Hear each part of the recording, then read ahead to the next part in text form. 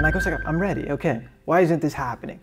But it's what are you doing every single day to get you to that 25 million or to get you to that new job or to get you to that new, new whatever it is. What are you doing every single day?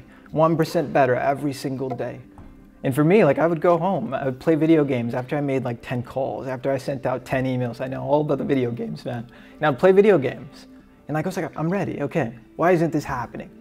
And I sold everything. And then I started taking meetings. I started sitting down for coffee with people that couldn't pay me. I started giving advice to people. And eventually, it's okay, Q, come speak on this large stage. Okay, Q, I'm gonna give you some money now because I believe in you and I believe in your company. But it's because I did something every single day. And I think a lot of people, especially young people like us, we fall into this belief that, hey, like I can be anything that I wanna be. And I think that's great, but I think even more than that, I can be anything that I work hard to be.